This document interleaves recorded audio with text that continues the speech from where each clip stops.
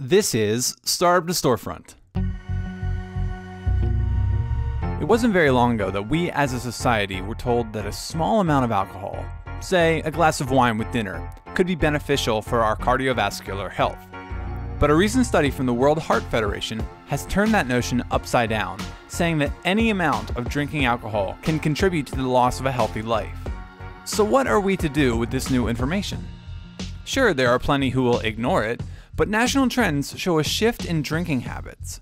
No and low alcoholic beverage sales have increased 33% in the past year, with the non alcoholic beverage category predicted to grow by another 35% this year.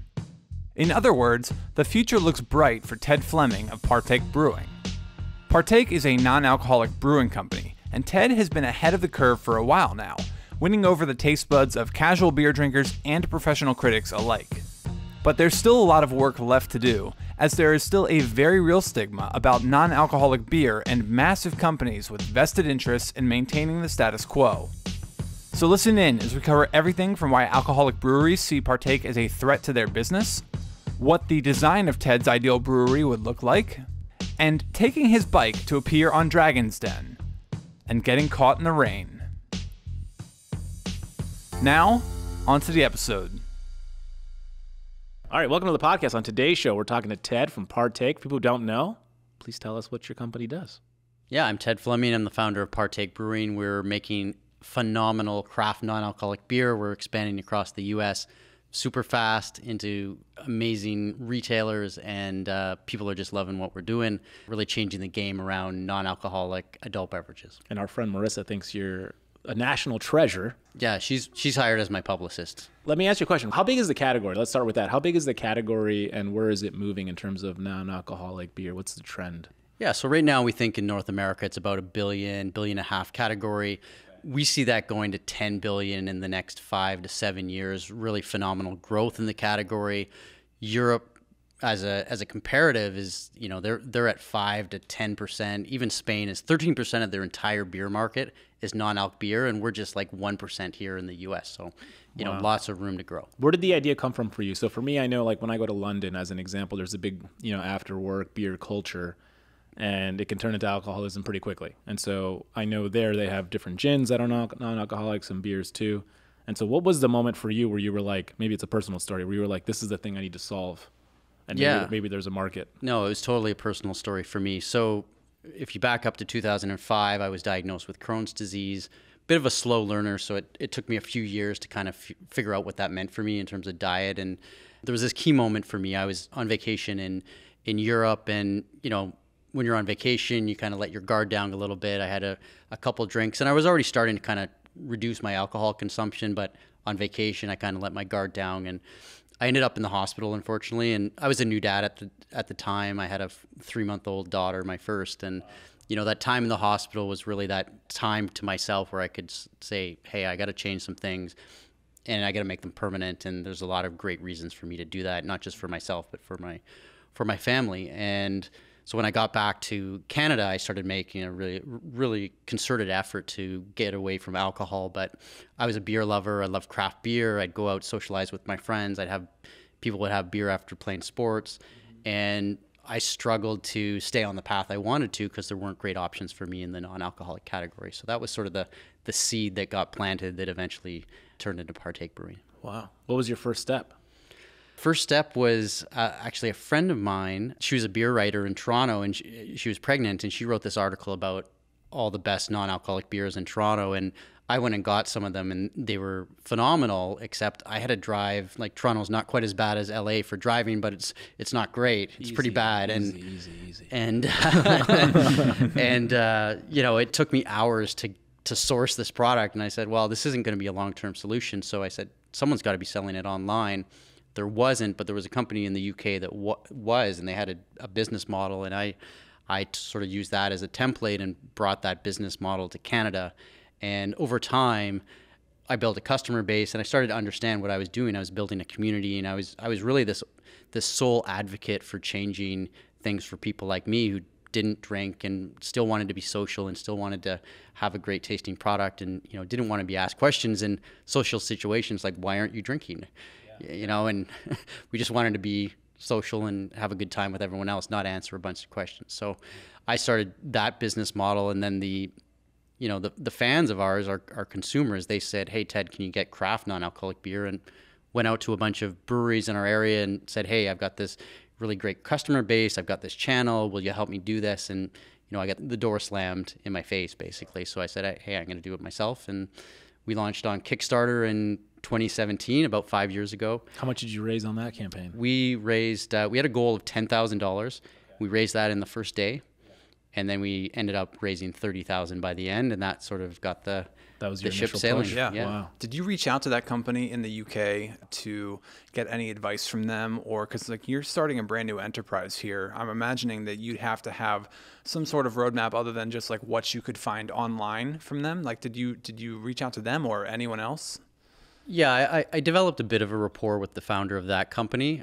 You know, he didn't give me a roadmap, but you know, it was a fairly simple business model, being e-commerce.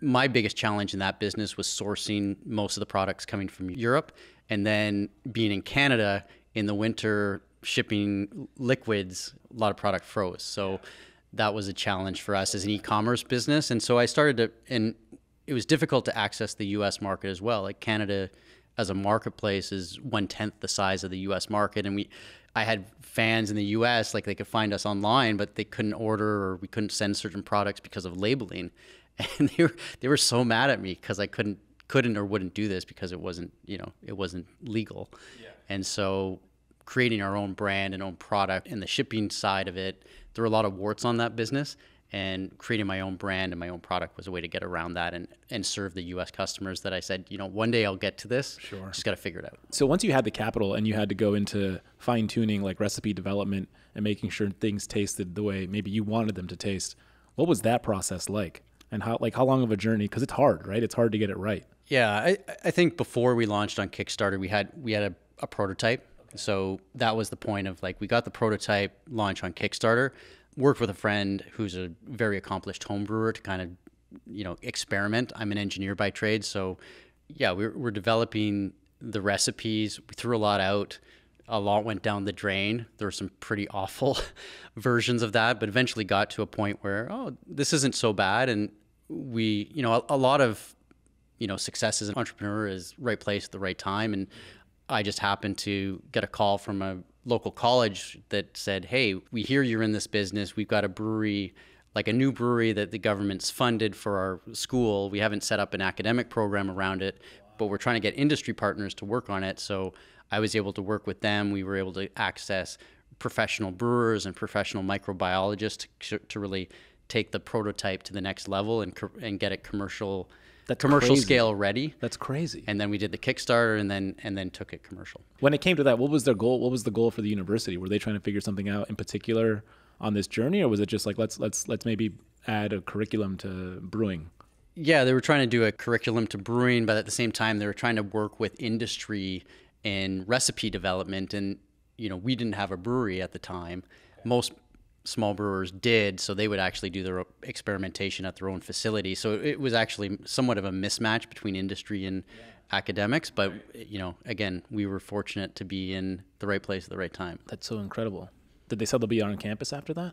They do, yeah, Yeah. yeah. They have a little little restaurant, and they got uh, they have a like a local agricultural program there, so they do sort of uh, field to table type stuff. Okay, walk me through the moment of like here you are, you're getting sales, things are working, Kickstarter went well, blah blah blah. You have maybe like six, seven, eight different flavors in the marketplace, and then you realize like, oh, you need to scale this up. Like you see it, you have the orders coming in. What was that like? Where are these people coming from? Where are people bothering? Like where are the emails coming? Where is the market? And you know, what is that like for you? What was that moment like? The big changeover point for me was we started to see people coming to the brand that were like they weren't like me. They didn't have to be in the category. They didn't have a medical reason or some acute reason to be drinking non-alcoholic beer. They were choosing to drink it, and they they were choosing to drink it because it tasted good. We had variety across all these craft styles, so people had like these access points that they've never had before for styles they they liked. And I think what's unique for us, even within non-alc, is like our calorie count is only 10 to 30 calories for an entire can. And a lot of people would say, "Oh, you know, I, I like the idea of non-alcoholic beer, but you know, if I'm if I'm going to drink something non-alcoholic, I don't want the calories." And you know, once we had a product that had amazing taste and we've won like world awards for the best non-alcoholic beer and then we combine that with like it's basically calorie free like you burn more than 10 calories in the act of drinking a beer and so You hear that pitch? Yeah. It's calorie free, everyone. so people It's a started diet. It's a actually make- workout. yes people started making their own you know case for why they should drink it and what occasions and and that was when things really took off as like the you know our our market our total addressable market went from people who couldn't drink alcohol to every beer drinker Have you ever thought about making one version alcoholic? Because if you think about it, right, so the reverse of it is if I'm a Bud Light, if I'm a Anheuser-Busch, I have the market. Now let me start releasing things to the smaller niches, non-alcoholic, seltzers, blah, blah, blah. Here you are kind of going reverse, where, where all your customer base doesn't drink. Mm-hmm. Do you ever think about doing that? it's crossed my mind like i think if if we were to do that Maybe the- under a different name also, like yeah, maybe, possibly. Like you know, you build the infrastructure, and it's it's easier to make alcoholic beer than it is to make a good non-alc beer. But I think what we decided was like we're here for a purpose. We serve a, a very specific customer, and we have a specific mis- mission. And if we did that, we we would we would probably lose focus. So it was important to us to to stay focused and stay focused for our customers and we think this is a 20 30 year market evolution where like we can have huge positive impact but we need to stay focused You know, one of the things that you've talked about in other interviews, you weren't able to find a beer that suited your tastes. You weren't able to find one that was worth the drive to Toronto every time to go get it. And I'm curious about the market as a whole. When you look at the percentage of growing uh, non-alcoholic beer drinkers across like Europe, the U.S., you see that growing. But I'm curious about what you have to do to influence that along, or if you just let that kind of matriculate on its own and just supply the beer in the meantime. I think to this point we've kind of allowed the market to develop we've raised a, raised a lot of capital recently and i think the you know a big part of the reason behind that is i think we need to be, get much more aggressive and tell our story i think ultimately for people that don't drink can't drink trying to drink less it's a bit of a hostile environment out there. And, and that was my experience. You'd go to a bar or restaurant and you say, hey, do you have a non alc beer? You know, they'd often say no. They'd look at you like, why would you even want that? Like, that category is awful. Here's a soda, here's a water, right? And when you're out with, you know, a group of friends, you don't feel like you're included. You don't feel like, you know, you kind of feel like you're at the kids' table. And so I think we have a bigger mission, and that's why I'm like looking at this in a 20 and 30 year time horizon of like, we need to change the stigma around not drinking and make it like totally normal. And there's a lot of work to do around that, but that's our mission. when it comes to your customer, who is your customer? Like if you can put them in a in a bucket, like how old? Like for me, I'll just give you what feels intuitive. So we build breweries, as you know, and so when I go to the breweries that we build, who are they? And they're all people that are generally single, looking to meet somebody. Probably, I would say mid twenties seems to be the right market. And then like, and then I'll throw my personal end of it, where I think there will be a day where I stop drinking. When that day is is approaching, like I know it's coming. Like I don't even drink beer anymore. I just drink wine. And so I right and so then and I know I fit into a customer profile. And so who like is your customer I'm just gonna guess like Yeah. 37. Take that customer that you have at your brewery, and then as they as they move on in age and, and their life changes in terms of like they become a parent, they're not quite as athletic. They don't have the same metabolism as they did before. They've got higher, you know, they've got careers and and more responsibilities. It doesn't mean they want they don't want to be social. They don't want to go out. They don't want to have enjoyable time with their friends and have those connections that happen over over a beer. They still want all that, but you know they, they see the value in a non-alcoholic product product and a low alcohol and a low calorie product and that's where we fit in of like okay that's that take that 28 to 45 age person who has developed a taste for craft beer and as their you know as their life evolves into a more mature state like that's where they start to say okay there's a time and a place for that same craft beer that i love but there's also a time and a place for non-alc beer and, and i can just pick and choose on occasion or how i'm feeling on any given day. And it's a, it's it's actually a very complementary product. I think early on in the evolution of our category a lot of breweries saw us as a threat. And i think about a year ago for us in toronto which is one of our key markets we started to see a ton of breweries just bringing our product in and just They just saw that as like, hey, we're just serving our customers and they want this and it's complimentary. And the person who drinks non alc beer, they're usually driving where people go because they have a smaller suite of options. And so if you can serve that customer, it's not just them, they're bringing five or six other people with them. That's fascinating that they saw you as the competition, as a threat. When I would say, it like, makes sense. Well, to me, it's like those are the people that you want because, you know, one, for designated drivers, they can have a couple non alcoholic beers and then, you know, drive everyone else home.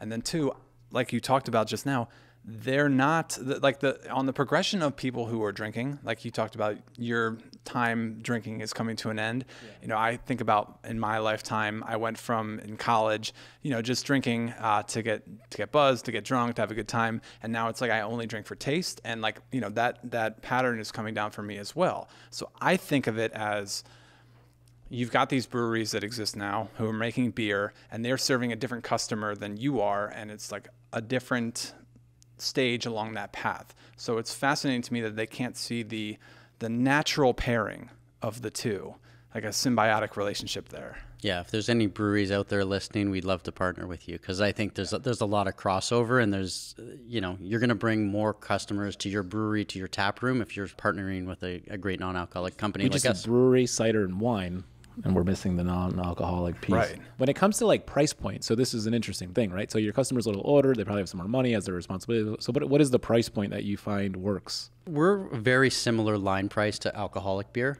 Some places a little bit below, but you know.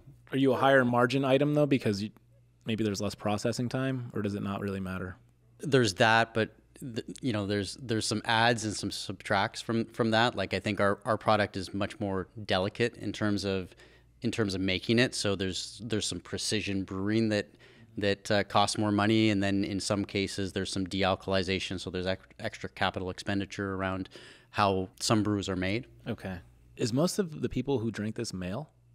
Like what what is the I would I would say 60-40 and okay. I think our our brand is somewhat unique. I think probably the category as a whole is probably probably mirrors alcoholic beer. I think our brand skews more towards women a bit more and I think we're just we're just seen as an accessible brand and the calorie component of, of what we bring to the table I think is particularly appealing.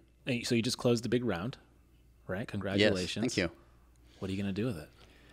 Where are you feeling the pressure? into a pool, dive into it. Yeah, it's super exciting. Again, I, I frame it up around that like 20 to 30 year mission that we're on, and how do we start to tell the story of the category? How do we start to tell the story of our consumers? How do we advocate for them? How do we get the product in in more retailers and more on premise? How do we change that negative stigma and make it how do you do it? more impl- I want to know. Yeah, it's I think basics for food and beverage. We got to get out and sample. Like people, when they try our product, they're like, "Wow, this tastes good." I can't, you know, I can't tell the difference between an alcoholic beer. It's ten calories. Okay, where do I buy it? Like that's it's calorie free. The, it's calorie yeah, free. Yeah. By the time so, you're done. That's the conversation we're having, and we just have to have that conversation like a hundred thousand times, a million times. So it's over. just boots on the ground, CPG, full attack, tastings at yeah. Bevmo or at anywhere. And we've had our hands tied behind our back for a couple years, right? So we're kind of itching to yeah. to get out there and do that. You know, the that, that work marketing. Yeah. When it comes to moving into America, are there, are, is, it, is it challenging or is it pretty straightforward being a Canadian-based company? Yeah, pros and cons there. Like it's it's certainly in some areas that you know you're seen as a premium product because you're from you know you're oh there's some allure to it out, outside okay. of the U.S. You're and blessed then by know, Trudeau. Yeah, this, and then some people are like, well, it's not made in in the U.S. and I want to support local. So it's there's some of each. And that's why, again, I think our, our message and our, our mission is really important because that resonates with people and that transcends those things. U.S. market is very fragmented from a distribution point of view, especially within beer, as as you probably know that you know we have to get distribution on a state by state basis. So and even then, sometimes within the states, because I was looking at where you're distributed, and you've got a bunch of whole states, but then you've got Eastern PA and Southern California, like San Francisco and Pittsburgh are, are not on the map just yet. Mm and it's it's interesting how that works where you can have all of Washington state, all of Maryland, but sections of states. Yeah. That's kind of a the chicken and the egg thing, which I think a lot of consumer packaged goods brand go through, right? The retailers say, who's your distributor? The distributor says, who's your retailer? sometimes that that map gets divided up just based on hey, we got a retailer and they have this footprint in this only this one portion of the state. Well, then the distributor for that portion of the state comes on, and maybe not the whole the whole state. Where's your highest yield though, from from a business perspective? Like, where where do you see the highest yield? Is it in more distribution? Are you going direct to consumer? We actually started as direct to consumer, so that like we start. We're probably the first beer brand in North America ever to start as. And was it like subscription model, or was it just? There was Yeah, some kind of. subscription, but it was it was really based off of that e-commerce store that I I built Yeah. originally, Okay. and and going into that that consumer base. What quantity of beer were people buying the most of? Was it six packs, twelve packs? Like you know, I'm, I'm thinking like if I'm buying Do you something even sell it like that? Do you, or do you go radically different? Do you no, go on, ten on, packs? on e-commerce we we sold we only sold 24 packs from like to get the shipping cost as, as a Yeah. percentage of the total cost down.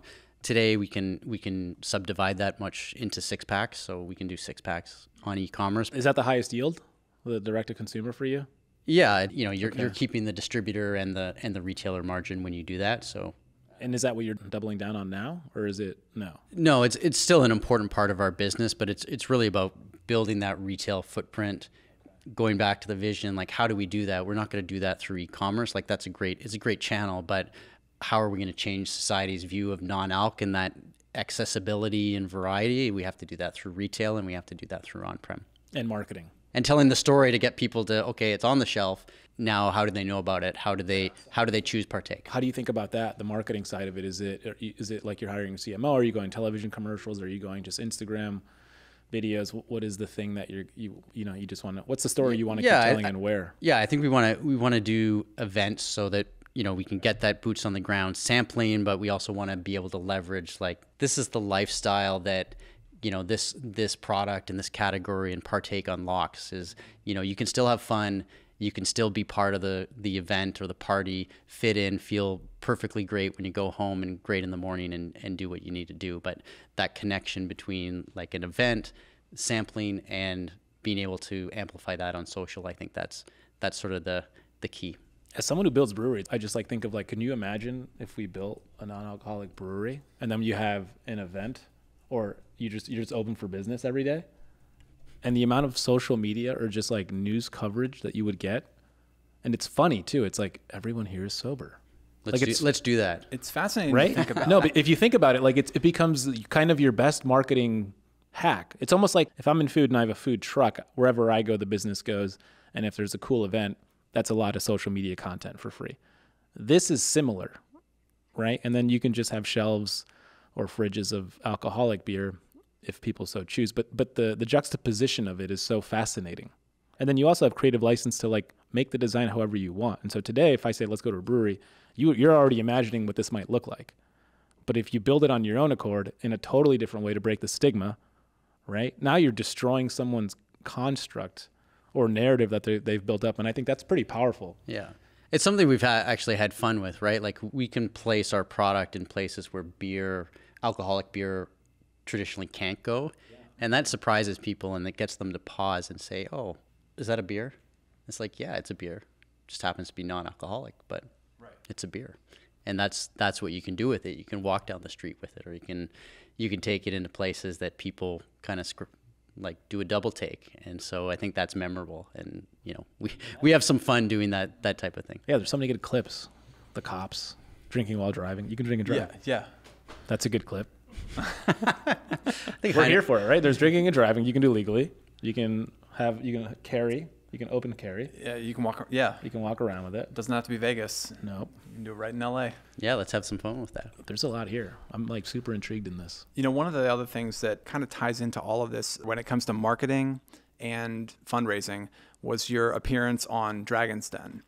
And we've had a lot of companies on Shark Tank, but I think you are the first one, congratulations, to come on this show having been on Dragon's Den. Dragons. thank you And I'm curious about the similarities and differences between Shark Tank and Dragon's Den. I know that Shark Tank comes from the the British Dragon's Den. I know that was the inspiration for it.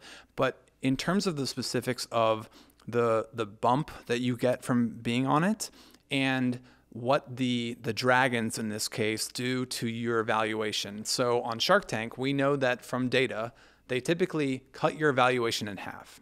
And I know from the deal that you struck, they cut your valuation in half and then some. So I believe you were asking for like three hundred thousand for what was it, twenty percent?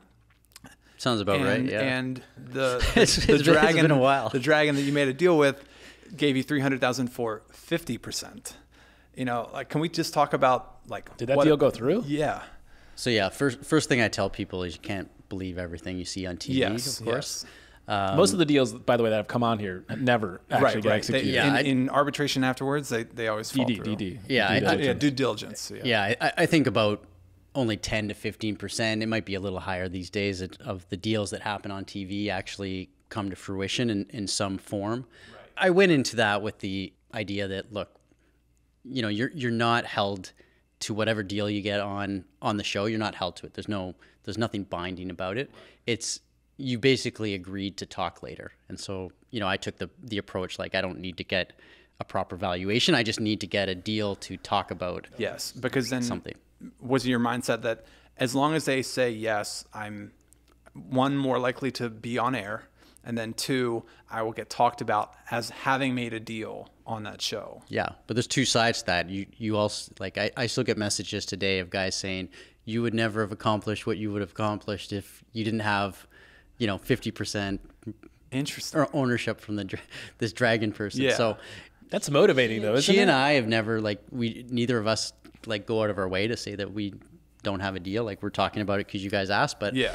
Well, yeah, it looks like she got the deal of the century. Yeah, we're, all, So- we're also, you know, like she and I are friendly. Like I can call her up and say, hey, I got a issue and she'll return my call. So we've got a, a great relationship. We actually happen to live in the same city in Canada, Calgary. Okay. And, you know, she's great at running her business and they're very successful and we've been very successful. And, you know, she told me when, when we were talking about the business and potentially working together, she said, like, there's no point in you taking my money at this stage. You can do it yourself. Like, I think you can do it yourself. I believe you can do it yourself. And, you know, I, to this day, I don't know for sure if she was trying to let me down easy or if she actually meant it. But, um, you know, either way, she was right. On a lighter note, I read on your blog that you actually, so you have a cargo bike that you rode to the studio that day. Oh, yeah. That's alone remarkable, but it also rained on you when you were biking there. One, I wanted like your your blog didn't go into all the detail that I wanted. How long of a ride was that? And what How went through were your you? what went through your mind that was like, oh yes, this is a good idea to bike to the studio? Yeah, well, part of the issue was I like trying to put a cargo bike into a like a car or a van. Like I just I had no other I wasn't that organized, so I had no other, other way to get it there. So I, I kind of got my got myself into a corner there. So I, I was riding along the north shore of of Lake Ontario, and there's this huge storm and huge waves coming off, and the cargo bike is not aerodynamic, so No. you're just getting like It's a blown giant box in front. and there's a big road along along which I was, you know, parallel to where I was riding, and you know, people were looking out their window like that guy is nuts, right? and I've got this bike which it actually had a draft tap coming out the top, so I actually served draft out of the the Oh, beer. cool. That was, you know, a poor man's uh, food truck, but uh, I got there. I was wet. I still had like six hours before I actually got on air. Like the waiting part is the the tricky part. Yes, You just yes. like how many times can I rehearse my pitch? Like I don't know, maybe thirty-seven, Right. something like that. But yeah, I, I dried off by the time I got into the studio. That's good. I would imagine that you know even if you hadn't, wardrobe could have fixed you up with something. Yeah, Like there's no way that they're letting you go on TV soaking wet. yeah. I, I was disappointed they didn't they didn't do makeup on me or anything. I was Oh really? You're I was hoping the for way the you I was hoping for you the you know the stunning. the royal treatment. You didn't need it. We had a company on the podcast that they were trying to solve a problem that you're probably hitting or will hit soon, where they basically are trying to find a way to make beer into a concentrate, right? And the whole concept is if at the end of the day you're shipping water, every beer company is shipping glass or cans and water, like right? And so they actually found a way to do it where they would at any bar they could just install this. It's way smaller than a keg. It's like a little tabletop unit. Fits in, easier to carry than a keg because it's empty. And then there's concentrate. And if someone wants an non-alcoholic beer, you know, water, concentrate, and then boom. And they can do it for like, I forget the number, but it, it was like uh, maybe like 600 beers before it had to be, before the filter itself, the thingy had, the concentrate had to be replaced. Do you ever think about that? Is that something that's on your radar?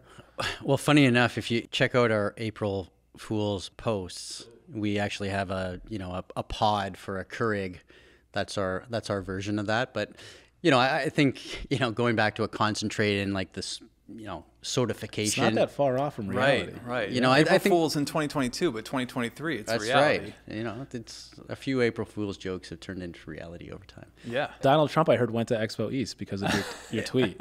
I heard about that. Yeah, let's let's not go into that one. I, that's that's how I got my social media accounts taken away. That's how you me, got canceled by your own team. That's right. That's right.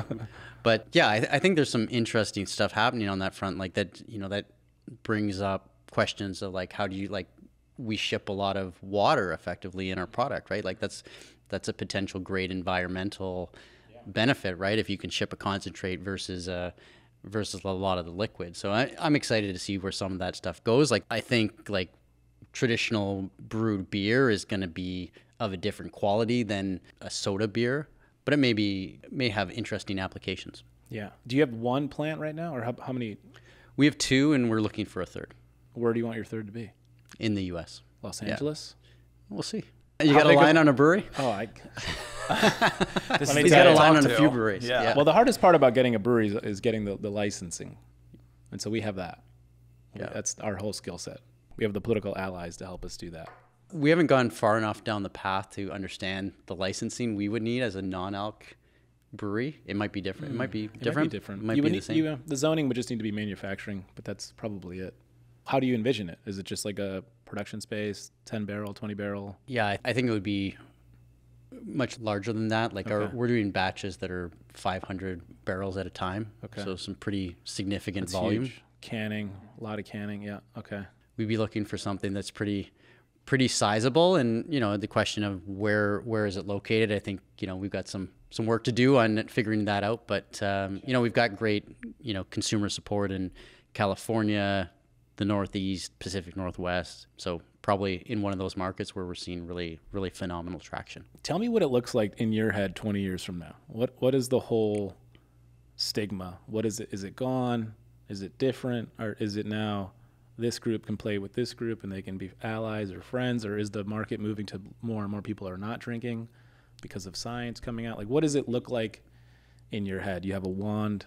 This is the Yeah. energy that you see. Yeah, I don't like. I'm. I'm not gonna one to tell people what that like they should drink less necessarily. They have to come to that choice on their own. It's more our job is to make sure they have great options if they decide to do that. You know, one of the visions I have, and I I explain to people like what what does the future look like for me. I'd love to go on a road trip with my daughter before she goes off to college and be able to go Calgary down through the Midwest and the West Coast of the U.S. to Mexico and be able to stop into any small town and pick up my beer or go to a restaurant and, and have non-alcoholic beer on the menu and it just be completely normal for me to order it. No one gives me a funny look. No one says, you know, why would you want that? Just feel like completely normal as a as a beer consumer. That's also one hell of a road trip. I'm excited for it. making plans already. Yeah. Are you in a Tesla while you're doing this? Yeah. Yeah. Charging stations and non-alcoholic beer. That's a good future. What does the tap room look like to you in your head? When you close your eyes and think about it, what does it look like? Yeah, we've got we've already got over a dozen styles. I think we'll have over 20 by by end of this year. So, you know, I'd I'd love to have something that's, you know, we're we're trying to push this message of like not drinking can be fun. It's like you don't have to drink alcohol for fun. It it has to be a fun space. It has to have variety. It has to have all the best things that a tap room has, which is community, a place for people to congregate and, and to connect. That's what I want it to be. Do you think people drink because of the alcohol, or do you think people drink because that's their only option? Like, for example, if I go to a brewery, I- I'm going to have a good time, and I know that. But the fact that I'm being served alcohol doesn't really matter, right? Mm-hmm. Or maybe it does. I think for some people it does, but I, I think for most people it doesn't. It's about who they're with. And that's, you know, that's part of our brand name, right? Like partake is about being with other people and sharing sharing an experience and sharing a moment and, you know, often that happens over drink and I don't think alcohol has to be part of that. When it comes to the brewing process, though, are there any types of beers that are more difficult to make non alcoholic than others? Well, we, we took the challenge like from square one, right? Like we said, no one's made a non- non-alcoholic IPA that's that we know of or that's any good. Mm-hmm. and so we said, okay, if we can if we can nail that, then we can make anything else. So that's why we we started with the hardest You thing started that we with that. Wow. we So started what- with that. What makes IPAs so much more difficult? It's an experiment gone wrong, and people like it. Yeah, it- there's so many people who love it, so they're just dialed into what that flavor profile is. funky. and it's it's usually associated with a high alcohol content. So if you can make something great like we do in a non-alc format and can can really satisfy those people that have drink a lot of IPAs and are very honed in on what that should taste like. And that's what we did. And so we we took that that was the product we had on our Kickstarter.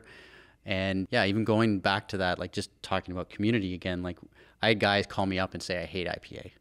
Absolutely hate it. I don't know why you're making it, but I'm still going to buy 10 cases from you because you're the only you're the only person out there trying to make things better for me and I know you'll eventually like if this is successful, I know you'll eventually make something I like and we've done that. They hate IPAs, but they're like instead of finding another beer, they're just like, I'm gonna keep trying IPAs till I find one that I like.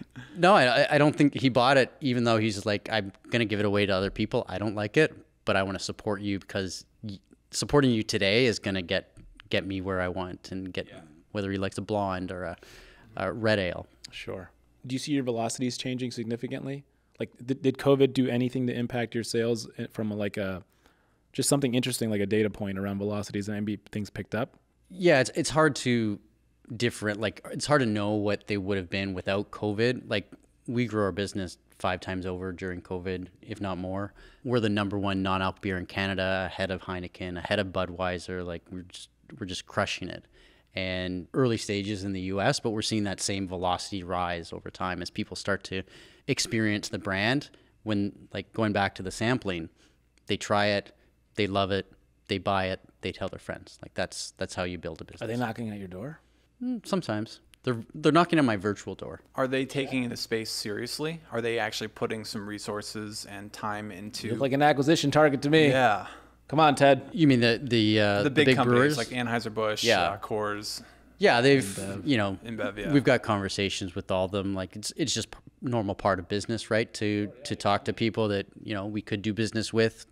Who knows what that looks like, but you know, I think we've earned a degree of respect that you know we didn't have a couple of years ago. But people from those big companies see us at the restaurants they're at, and they see us at the retailers they're at, and they see us at events they want to be at, and they're they're sponsoring, and they're like, oh, you know, we've got our products in this big event, and what's this non-alcoholic company? You know, we should pay attention. Yeah.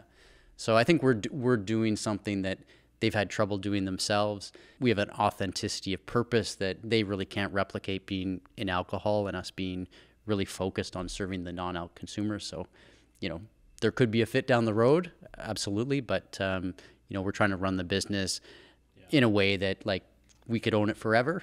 You seem like a really humble guy, Ted. Are you aware of what you're building? Uh, yeah, You're pretty. I aware. am. You're dialed in, right?